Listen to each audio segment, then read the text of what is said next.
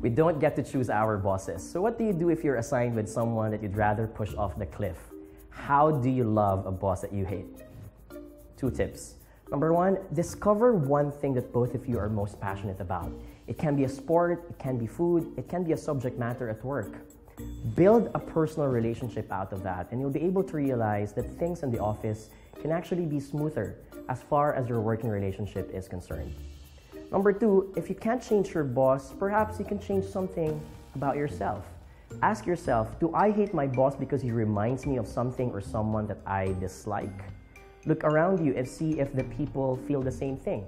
Perhaps it's only you who's feeling the hate, and that's something you can change about yourself. In order to fast forward your career, you have to build a good relationship with your boss. And so I wish you the best in building a good one. My latest book, Fast Forward, is now available in all leading bookstores. For more information, log on to jonathanyabut.com.